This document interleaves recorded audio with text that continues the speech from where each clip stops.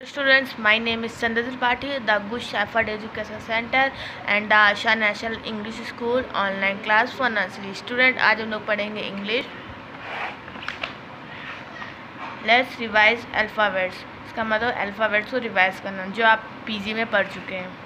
A for apple A for ant B for bat and ball C for cat C for cap D for doll D for dog E for elephant, E for emblem, F for frog, F for fish, G for grabs and G for gifts, H for hat, H for horse, I for ice cream, I for ice,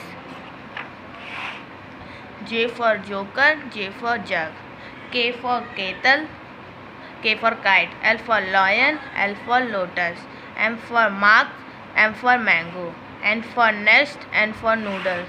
O for onion, O for orange, P for pencil, P for papaya, Q for queen, Q for quit, R for rose, R for rabbit, S for sun, S for ship, T for tortoise, T for tiger, U for universal and U for umbrella, V for van, V for vegetable, W for watermelon, well, X for tree, X for isophone. Y for yak, Y for yo. Z for zebra. Stop.